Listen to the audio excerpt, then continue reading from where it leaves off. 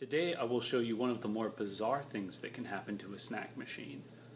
We're going to be discussing how a light bulb can affect electrical signals and cause a AP6600 to do some pretty weird things. Is something off here? You can see that the top level is completely empty, where everything else is full. We haven't been to this machine for two weeks, and this is slightly unusual.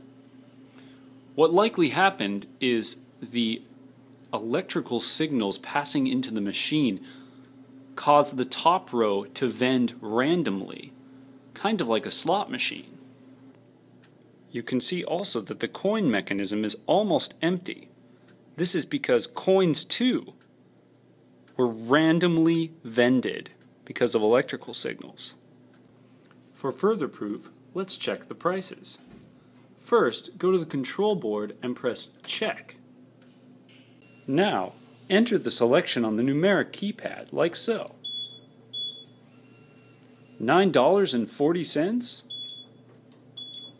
Zero dollars? Ten cents? And zero dollars. The top shelf, which also vended all of the product randomly, are also set at random prices. This problem can occur on AP 6000s, 6000 XLs, and 7000s.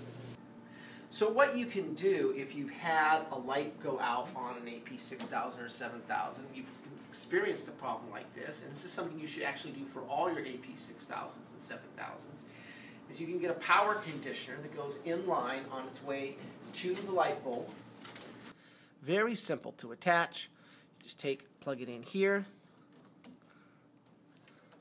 plug it in at the other end. Only one way it can go. You can't put it in backwards by mistake. Tuck it in, and you're finished.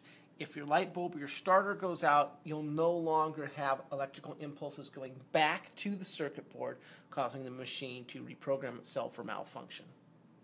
And these items can be ordered through a vendor supply place. Uh, Betson would probably have them. Vendors Exchange is a number of companies you can contact to try to get these parts.